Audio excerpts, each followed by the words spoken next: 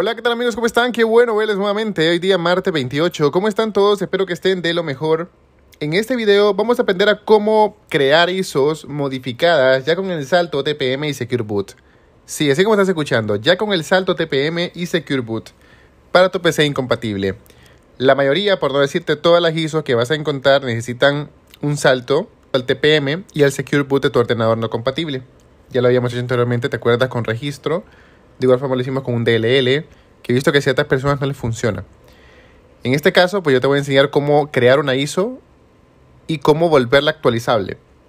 Vamos a irnos aquí al Edge y acá tenemos el Media Creator Tool, .bat. Ese es un, digamos, un asistente en el cual tú puedes bajar, de hecho, no solo Windows 11, acá está la opción para Windows 11, pero tienes la opción para la 21H2, 21H1, 20H2, 20H1, que es Windows 10. No solamente Windows 11 sino que también Windows 10 también. En la parte de acá podemos nosotros obtenerla. Vamos a darle double zip. Bastante fácil la instalación de esto. O la parte de la descarga. Vamos acá a la carpeta y acá la tenemos, ¿ves?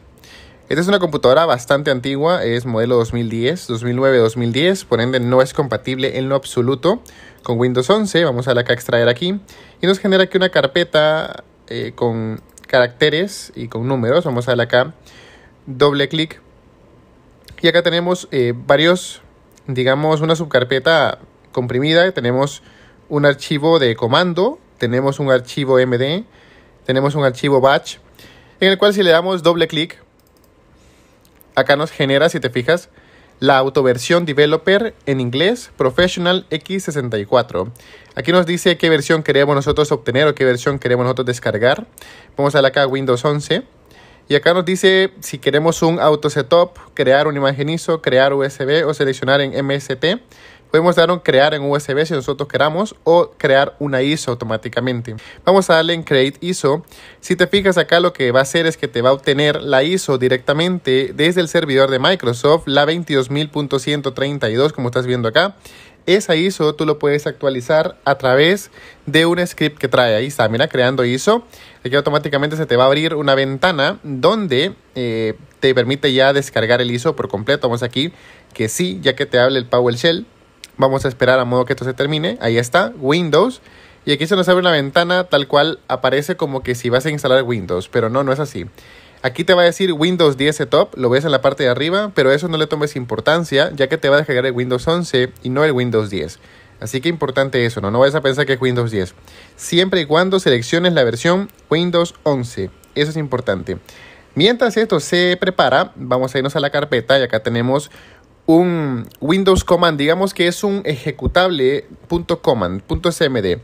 Eso lo que va a hacer, si te fijas acá, es skip tpm check on dynamic update. Lo que va a hacer esto en sí es que te va a colocar en registro en esta ubicación que estás viendo aquí, HK Local Machine, System, Setup y Mo Setup.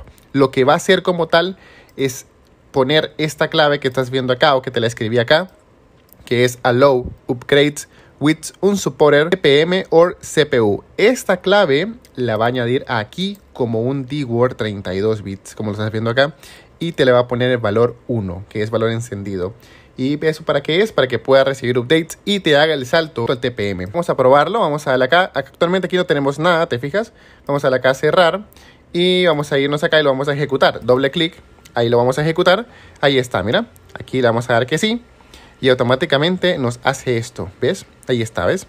Vamos a darle acá, esperar 3 segundos, ahí está, skip TPM, listo.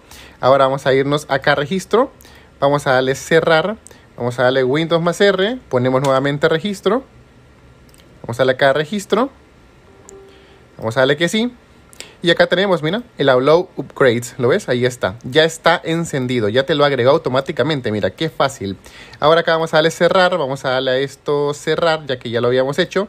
Y acá tenemos descargando. Mira, descargando Windows 10 te va a decir ahí.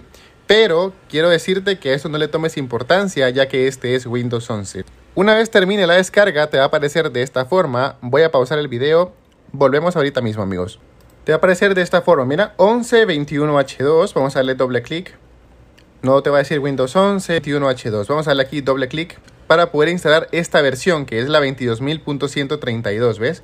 No es una versión reciente, la actual es la 194. Ahí ves que dice que nuestro equipo no es compatible con el TPM 2.0 y el equipo debe admitir arranque seguro. Vamos a darle atrás.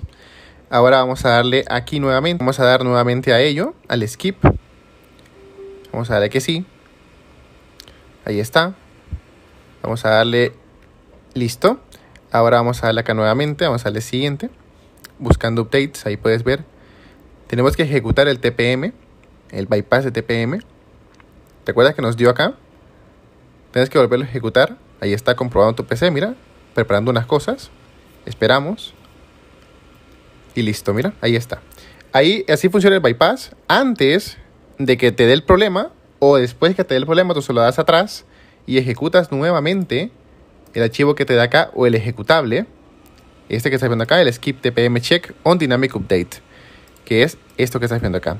Y aquí ya puedes tú aceptar los términos y ya comienza a eh, instalarlo, ¿no? En todo caso puedes conservar los archivos personales, solo archivos personales o nada en todo caso para una instalación en limpio. Pues prácticamente amigos, eso es todo el video de hoy. Espero que te haya gustado, espero y te haya servido. Si es así, apóyame siempre, por favor, con ese enorme like, con tu comentario. No olvides suscribirte. Totalmente gratuito, amigos. Sí, totalmente gratuito. Y claro, muy importante, no te olvides, voy a cerrar esto. Vamos a darle acá a minimizar. Antes o después de ejecutar el ISO que tú hayas descargado, tienes que ejecutar este command o este script para que te pueda hacer el bypass automáticamente, así como estás escuchando. Pues nos vemos amigos en un próximo segmento, muy pendiente de los próximos videos del canal. Hasta la próxima, un enorme abrazo a todos. Bye bye chicos.